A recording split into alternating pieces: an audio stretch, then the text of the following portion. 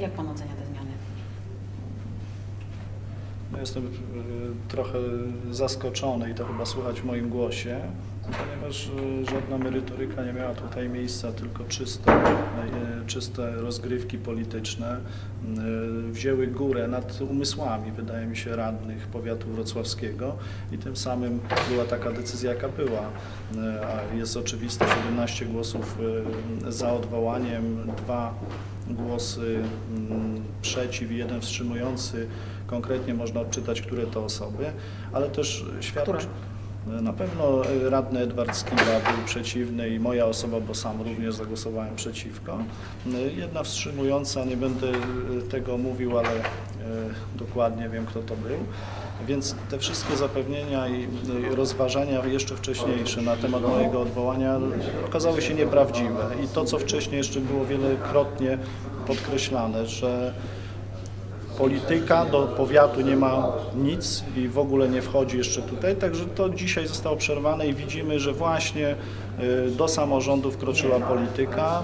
Y, W powiecie wrocławskim jest totalna polityka i tylko i wyłącznie decyzje polityczne mają wpływ na to, co mieliśmy przed chwilą, co widzieliśmy. Nie liczą się zdania mieszkańców, nie liczą się zdania przedsiębiorców, nie liczą się te głosy, y, które myślę są najważniejsze, bo to przecież mieszkańcy dają kredyt zaufania radnym, wybierają konkretnego człowieka w głosowaniu, y, a okazuje się, że później tak naprawdę te głosy mieszkańców są nieistotne, ponieważ są dyscypliny partyjne i liczy się to, co szefowie partii ustali. Ale pod tym wnioskiem podpisali się również koledzy, członkowie Pana partii. Członkowie mojej partii są w ogóle e, przedziwni. Ja tutaj wręcz nie widzę żadnej logiki, bo tracą dzisiaj starostę, tracą dzisiaj przewodniczącego Rady. E, Tak naprawdę tracą władzę w powiecie wrocławskim, bo nie, da, nie dam się przekonać, że członek zarządu etatowy, bo tak, taka uchwała za chwileczkę się też pojawi, co byłem przeciwnikiem e, i nigdy nie, nie pozwalałem publicznych pieniędzy defraudować, a tak uważam właśnie tworzenie sztucznych stanowisk. E, No i oczywiście zatrudniania innych rzeczy, zwalniania. E, Ja się pod tym nie chciałem podpisywać. No i to są te konsekwencje troszeczkę, że, że dzisiaj zostałem odwołany. Yy, No i tak to można spuentować, czyli e, decyzje e, radnych nie są decyzjami radnych, tylko są głosem partii politycznych. A to stanowisko jest z jakiego powodu w ogóle tworzone dzisiaj? E, No dzisiaj tworzy się chyba tylko dlatego, że mm, jeden z radnych, e, tak mi się wydaje, że to właśnie będzie PSL, będzie członkiem płatnym, etatowym za to, że zagłosował przeciwko mojej osobie odwołaniu, ponieważ e, kluby Platformy Obywatelskiej i Porozumienia dla Powiatu chciały się ubezpieczyć i jeszcze dodatkowo zawiązały, liczyły również te głosy bardzo mocno e, i zawiązały taką koalicję, czyli to podejrzewam było takie kupowanie trochę głosów radnego. A jaka to kwota będzie e, takie, e, opłacenie takiego radnego w zarządzie etatowego? Jako radny powiatu wrocławskiego, bo cały czas będę radnym powiatu, z tej funkcji mnie nikt tutaj nie usunie, e, będę się tego domagał. E, Mówi się o kwotach 5 tysięcy, 8 tysięcy. E, Trudno mi powiedzieć, czy na tyle będzie to ciążone, obciążone, ponieważ dotychczas nie było takiego stanowisko i nie, wi- nie, stanowiska i nie widziałem nawet zasadności, żeby tworzyć sztucznie stanowiska tylko po to, żeby było, żeby to były partyjne stanowiska. Będę się na pewno do, dopytywał. To będzie e, uchwałą podjęte? są to środki publiczne, więc jawne, ile członek zarządu zarabia, czy ile dietę, jaką, jakiej wysokości dietę ma radny, również y, są jawne, więc y, będę chciał znać tą, tą kwotę. Na dzień dzisiejszy trudno jest mi powiedzieć, bo to nie ja decyduję, tylko nowy starosta. Proszę powiedzieć, czy PSL jest wielkim przegranym e, w tym głosowaniu, bo traci właściwie znaczenie. No PSL no, oczywiście, że jest przegranym, bo tak jak wcześniej powiedziałem, e, traci starostę, traci przewodniczącego rady. E, No trudno, mówię, powiedzieć, że wygrywa się, tracąc właśnie te stanowiska, zyskując członka etatowego i być może, bo taka jest też mowa, czy mieć wice, wice przewodniczącego rady.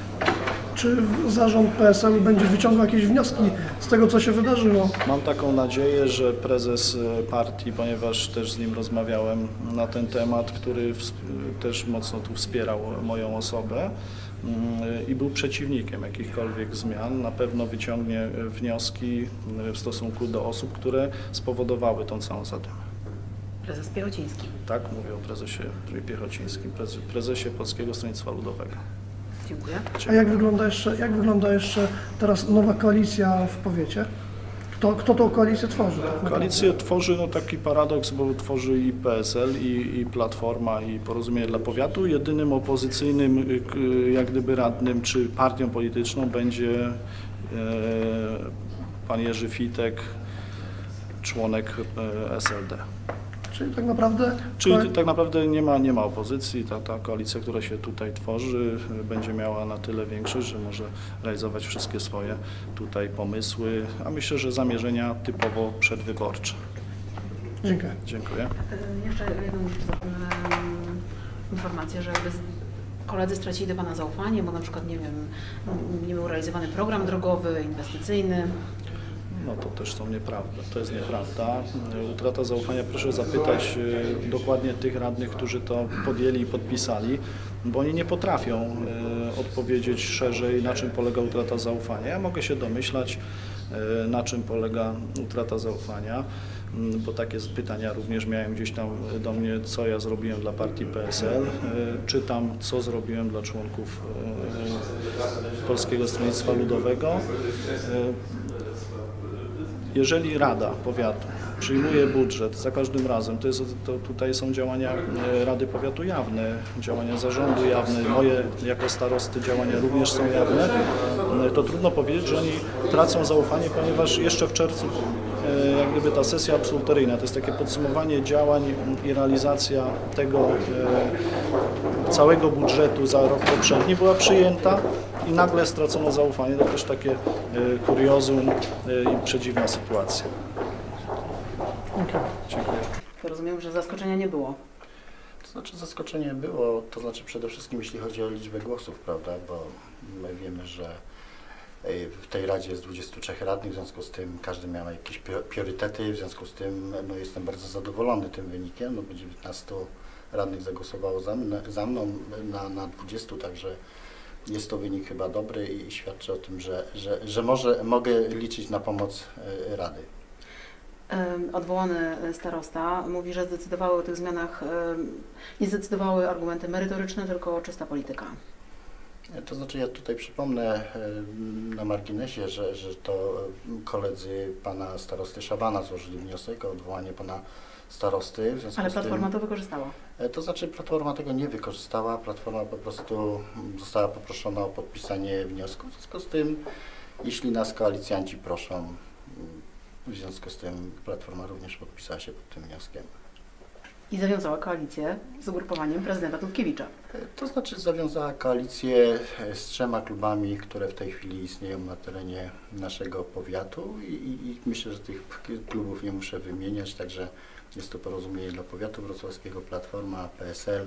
Cieszy mnie to niezmiernie jako przyszłego starostę, że e, będę miał tak jakby mm, stuprocentową e, możliwość współpracy z Radą, a na tym mi najbardziej zależy, bo, bo tak jak e, mm, Pan Jan Mrozik rekomendując mnie na to stanowisko powiedział, że jestem osobą, która chce współpracować ze wszystkimi środowiskami, w związku z tym myślę, że mi się uda i będzie ta współpraca, tak jak powiedziałem w swoim krótkim expose, został nam rok do wyboru, w związku z tym będę chciał bardzo mocno e, położyć nacisk szczególnie na drogi, które są naszą bolączką w powiecie, choć i tak już bardzo dużo w tym zakresie żeśmy przez 3 lata zrobili. Jakie będą pierwsze takie strategiczne kroki e, w powiecie i na ile się zmieni e, polityka powiatu do tej, która była do tej pory? To znaczy głównym strategicznym celem i takim najważniejszym zadaniem w tej chwili, tak jak już powiedziałem, e, jest, e, że tak powiem, scalenie Rady.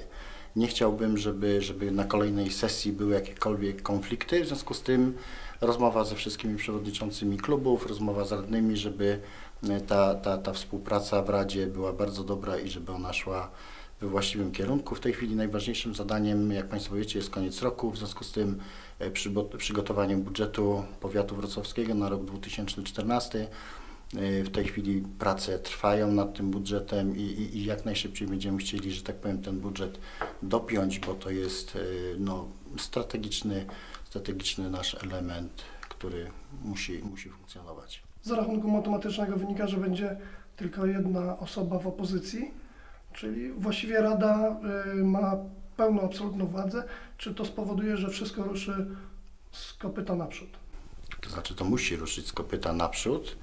E, Cieszy mnie właśnie, że, że jest taka sytuacja, że, że no ja myślę, że ten jeden radny to, to, to, to nie będzie też naszą opozycją, że będzie tak jak powtarzam się może, ale, ale będzie to dobra współpraca w roku przedwyborczym, bo jak Państwo wiecie, za rok są wybory, w związku z tym nie sądzę, że tak łatwo nam się ten budżet uda dopiąć, bo każdy, kołderka jest krótka, każdy będzie ciągnął swoją stronę, w związku z tym y, Obawiam się, że może być e, dużo komplikacji przy tworzeniu i zatwierdzaniu budżetu na, na rok 2014. W lecie Pana pytałem o drogi. Mówił Pan, że robi się na drogach, robi się dużo robót. To znaczy, że przyspieszy gwałtownie, czy będzie po prostu takie to, jak znaczy, było? to znaczy tak, e, w tej chwili przez te 3 lata zbudowaliśmy na terenie powiatu wrocławskiego 107 km dróg i to myślę, że, że, że jest istotny sukces tego powiatu, że tak dużo zainwestowaliśmy w drogi.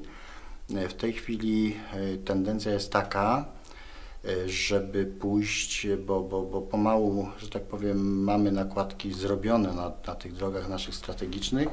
W tej chwili jest tendencja taka, żeby wraz z gminami przy współfinansowaniu wziąć się za chodniki i wspólnie z gminami budować jak najwięcej chodników na terenie powiatu.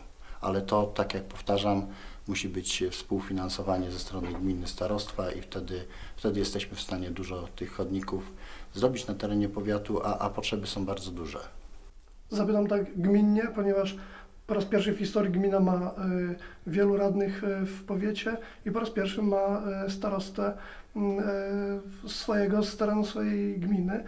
Czy będzie łaskawe oko w kierunku gminy Czernica? Myślę konkretnie o drodze Dobrzykowice-Chrząstawa. To znaczy, proszę Państwa, ja powiem tak, ja już niejednokrotnie się wypowiadałem na temat tej drogi. Dla mnie jest to priorytet. Może to, to być różnie odbierane, ale dla mnie e, droga, mm, droga Dobrzykowice na Dolicę Chrząstawa jest to priorytet. Już też kiedyś o tym mówiłem, most, przeprawa na, na, na Widawie w Chrząstawie, którą też musimy zrealizować. E, Jak Państwo wiecie, e, została, zostały zgłoszone w starostwie powiatowym dwie drogi do tak zwanych schetynówek. To jest Smolec i Dobrzykowice. E, W tej chwili żeśmy wystąpili z wnioskiem o, o poprawę liczby punktów na drogę w Dobrzykowicach. Mam cały czas nadzieję, że ta droga, same Dobrzykowice zostaną zrobione w ramach schetynówek.